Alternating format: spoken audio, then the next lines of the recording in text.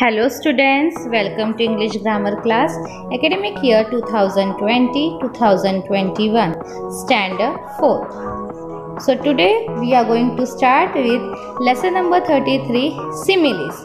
Now you must be thinking students, what is simile? Let's learn about similes. Simile, a comparison between two unlike things using the connective words like or as, than or resembles. Example Her cheeks were as red as apples.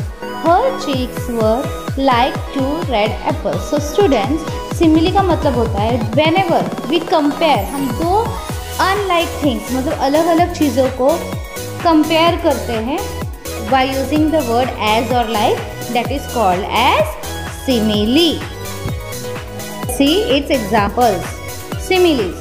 Busy as a bee. Here the word busy is compared to a bee by using the word as. Sparkle like diamonds. Hungry as a bear. Flat as a pancake. Hard as a rock. I hope you all have understood. Let's see the more examples. Here you can see as black as the night. Here the night is compared with the black color. As white as snow. As green as grass. As grey as ash. As blue as the sky.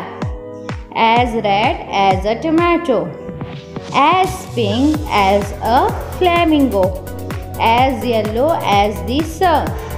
As brown as a berry as orange as a carrot. Now you can see here all the different colors are compared with the different unlike things.